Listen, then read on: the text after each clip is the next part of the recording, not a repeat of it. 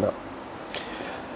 خبر أخير في هذه الجولة مشاهدينا نقرأ تسمم 17 تلميذا بمدرسة بعدي الأساسية بسنار تعرض 17 تلميذا بمدرسة بعدي الأساسية بنين بولاية سنار أمس الاثنين لحادثة تسمم وتم نقلهم على إثرها إلى المستشفى وتلقوا العلاج اللازم وتعافوا تماما بينما اتخذ اتخذت الجهات المختصة الإجراءات اللازمة لعدم تكرار مثل هذه الحادثة وأكد المدير التنفيذي بشرى إدريس دفع السيد تعرض التلاميذ إلى تسمم مشيدا بالكوادر الطبية بالمستشفى وأبان أن المحلية قامت بإغلاق المطاعم بالمدرسة وصادرت الأطعمة والأواني وقامت السلطات الصحية بأخذ عينات لمعرفة مصدر التسمم.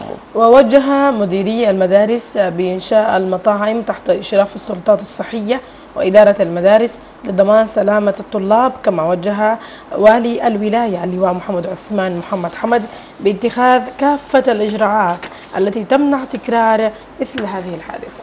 حادثة مؤسفة ومخيفة وللأسف ليست الأولى التي تحدث في في المدارس. يعني يعني متى تقوم الإدارات الصحية في إدارات التعليم المختلفة سواء في مدارس الأساس أو الثانوي بعملها؟ هو هو أنا بفتكر أنه الإدارات دي ذاتها فرصة تجي أنه في وظائف كثيرة جدا خلال كم و40 سنة نحن حسبنا أنها وظائف ثانوية وبدأت الخدمة المدنية تتخلى عنها حتى هي وظائف الزائر الصحي ولا يعني حتى الآن الجامعات ما فيها مسؤولين صحيين دعك من المدارس. ودي إشكالات حصلت في المدارس بشكل كثير لأنه هي موضوع متروك على الله يعني كما يقولون يعني.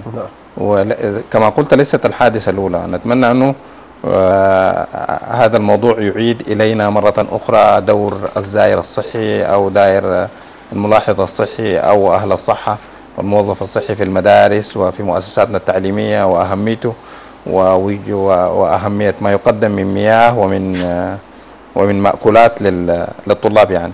ونسأل الله أنه يسلمهم يعني. نعم. إحنا شكرا لك جدا أستاذ الشيخ يوسف رئيس تحرير موقع شروق نت على هذه القراءة التحليلية لأهم الأخبار الواردة صباحا اليوم في موقع شروق نت. شكرا جزيلا شكرا جزيلا لكم كتر خيركم. شكرا لك.